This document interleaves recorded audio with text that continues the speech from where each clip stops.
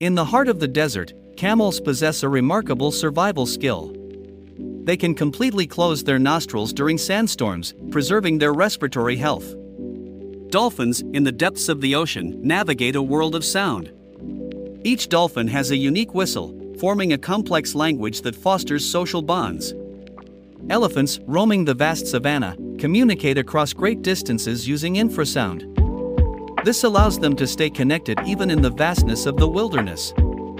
Fish, beneath the surface, release chemicals into the water to warn others of nearby predators. And geckos, in the world of reptiles, defy gravity with their extraordinary climbing abilities. With specialized toe pads covered in microscopic hairs,